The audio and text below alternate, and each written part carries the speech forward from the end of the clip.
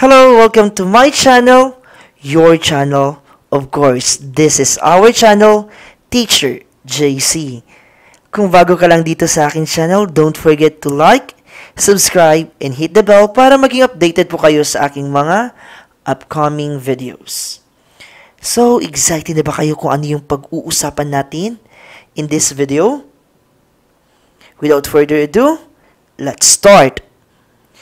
Pag-uusapan natin ngayon ang changing of your country and changing your payee details sa AdSense account ninyo. Excited na ba? Let's begin with the first question. Teacher JC, can I change my country in my AdSense account? Because I am an OFW and I need to update my tax info. However, the TIN na meron ako is TIN from the Philippines. Paano po yan? Kabayan, sad to say, you can't change the country that you have indicated in your AdSense account when you created it from the very beginning.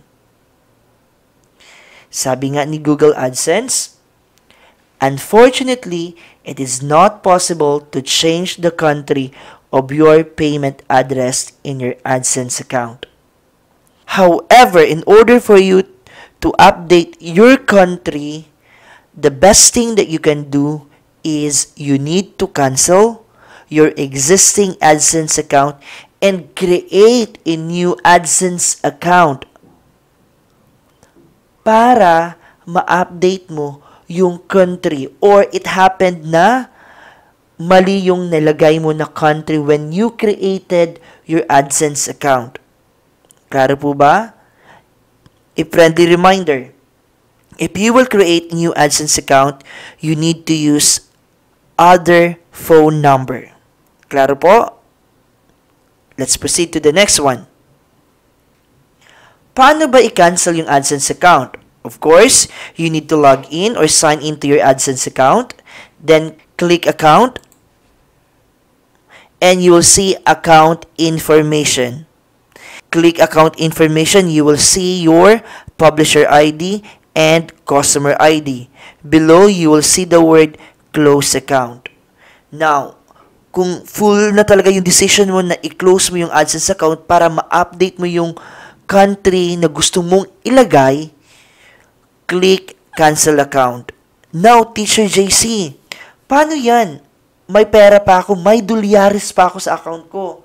Nothing to worry because sabi ni Google, if you meet the minimum threshold, you will still receive the final payment. And when you cancel your account, all you need to do is select the reason for closing the account from the drop-down list or from the list that they provided.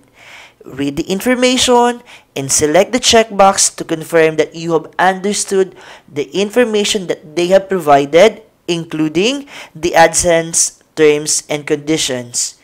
After that one, click Close Account. And your account will be closed and you will receive an email for confirmation. After that one, pwede ka nang gumawa ng bago mong AdSense account doon sa YouTube channel mo. Is it clear? Let's proceed to our next one.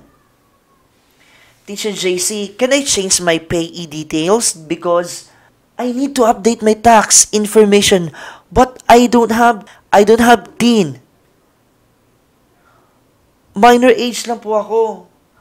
Can I change my payee details to my brother or sister or mother or father?